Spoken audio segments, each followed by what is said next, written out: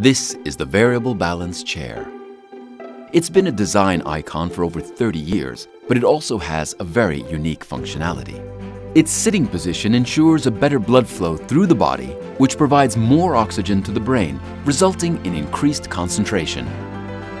This makes the Variable Balans the perfect homework chair for children. The problem is that parents of today don't know this. As a result, sales numbers have decreased over a long period of time. The brief. Relaunch the variable balans chair and demonstrate its unique product benefit to both customers and retailers. The idea. Design a limited edition series of the chair using its own functionality. We developed a software that could actually translate children's brain activity and concentration levels into unique design. Then we invited three children from different parts of the world to actually design a limited edition series of the chair. To tell the world about it, we made a website where you can get to know the children and see how they created their very own chair. Mi chiamo Lorenzo e ho 9 anni. Vengo da Roma in Italia. L'Italia è un paese bellissimo ed è pieno di storia. Lorenzo had this beautiful energy and this true passion for history, so that became our inspiration when developing the assets for his design.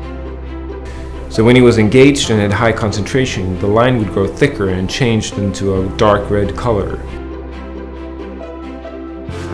This is what you designed with your thoughts. A making of film explains the technology. And you can of course purchase the chair online.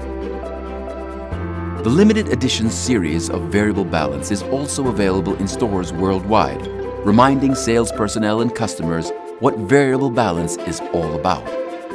The whole project was launched at the world's largest furniture fair in Cologne, Germany. And to increase attention, we invited retailers and journalists to try it out for themselves.